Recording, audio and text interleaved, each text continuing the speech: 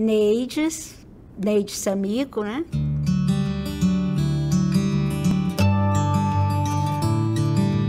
Eu recebi o precatório da licença prêmio, né?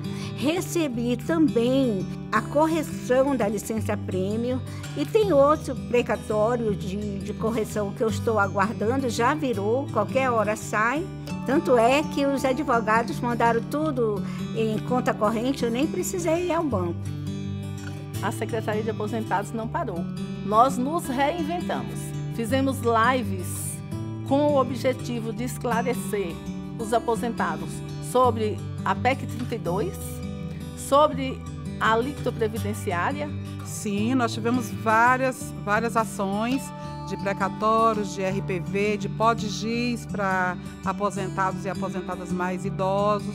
É, também tivemos ações aí que já estão tramitando e alguns aposentados e aposentadas já estão tendo esse efeito, seu seu contra-cheque, que é HPED e a 15ª Ação de Cobrança junto à Secretaria de Educação. A Secretaria de Aposentados ela foi criada em 1992. De lá para cá, nós temos realizado cursos de informática, cursos de formação sindical, hortas em pequenos espaços e ervas medicinais. Temos realizado também feiras culturais e nós temos também o tradicional baile dos aposentados, que eu não poderia deixar de citar aqui, que é uma atividade muito apreciada pela categoria. Também durante esse período de pandemia, nós realizamos curso de formação com os nossos aposentados, foi um curso virtual. Eu sou uma pessoa que eu gosto muito de estudar, então é, apareceu durante a pandemia uma oportunidade de fazer um curso pelo sindicato. E como esse, esse curso tinha muito a ver com a minha área de pesquisa, porque eu aposentei em 2017, já entrei no mestrado, concluí, estou fazendo doutorado. E aí esse curso veio atender às minhas expectativas, porque eu trabalho nessa área de educação em épocas de de, de, um governo que prioriza muito a questão neoliberal, a priorização da economia em detrimento a questões sociais. E desse curso aí, inclusive, saiu um artigo que eu mandei para publicação agora.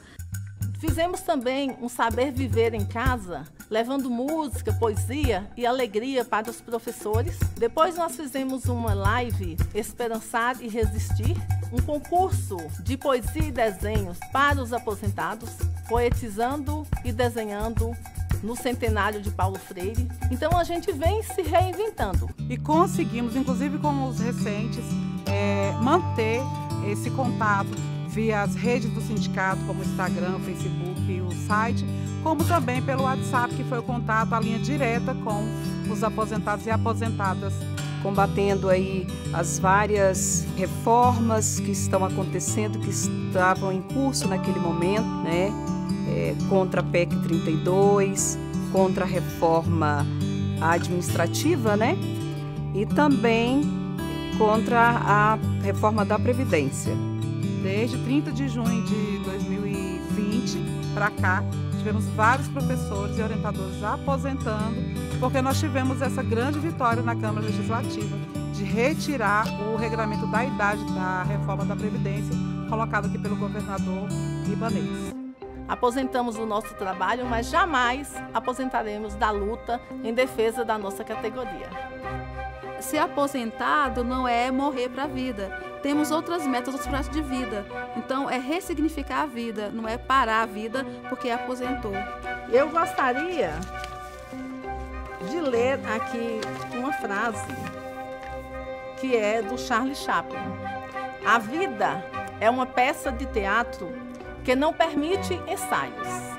Por isso, cante, chore, dance, ria e viva intensamente antes que a cortina se feche e a peça termine sem aplausos.